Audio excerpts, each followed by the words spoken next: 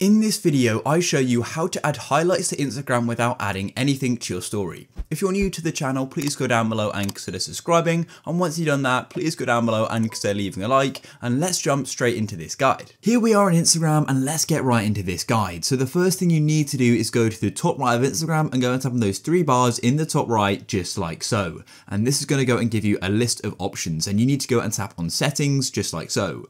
Then from settings, you need to go and tap on privacy. And then from privacy, you need to locate the list called interactions and you need to go and locate story, just like so. Now, I just want to quickly explain what we're going to go and do. So what we're going to go and do is hide our story uh, from our entire following, and then we can go and post our stories. And then after those 24 hours have passed, we can go and remove everyone from the hide story list. And then they can go and see your stories as normally, but they wouldn't have seen all your highlights, um, but they will still be in your highlights. And I'll show you exactly how to do this. So let's go and um, add everyone to this list. So all you need to do is scroll down and tap the tick button next to everybody. It may take a bit of time if you have got a lot of people here but all you need to do is just slowly work your way through it. Of course, you don't actually have to do everyone. In theory, you could just go and do a few people who you definitely don't want to see it. Some people you might not mind. So once you've gone and selected everybody, then you can go and press done, just like so. As you can see, I've now gone and hid the story from my entire following. So now I can go and post my story just like so. So I'm going to swipe across just like this and take a quick photo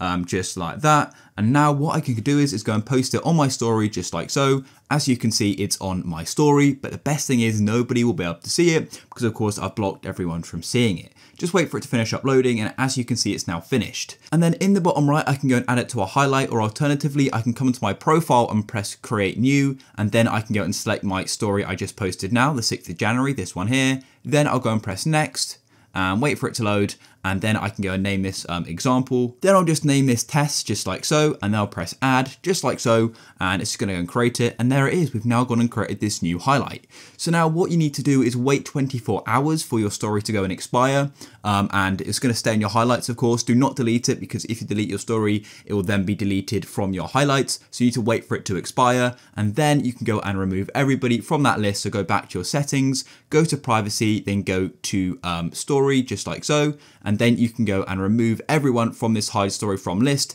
and they can view your stories like normal and your highlights are going to be um, in their same place but your all your followers won't have to have to go on and see all of them because I know sometimes you go and post you know loads of uh, things you want to go and add your highlights loads of photos and videos and you don't want everybody to see them so this is a great way of hiding them from everybody um, but of course they can go and view them in your highlights if they'd like to but you don't sort of spam your story with them if you found this guide useful, please go down below and consider leaving a like. Peace.